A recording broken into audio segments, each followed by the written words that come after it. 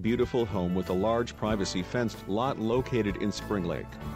This home has enough square footage, 1900 to 2000, to accommodate your family.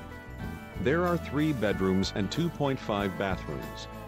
Located in the living is a custom-made 250 gallons built-in fish tank along with new bamboo hardwood flooring. The entire house has a new coat of paint. Then you have a screen in back porch with a large shed located in a large privacy backyard.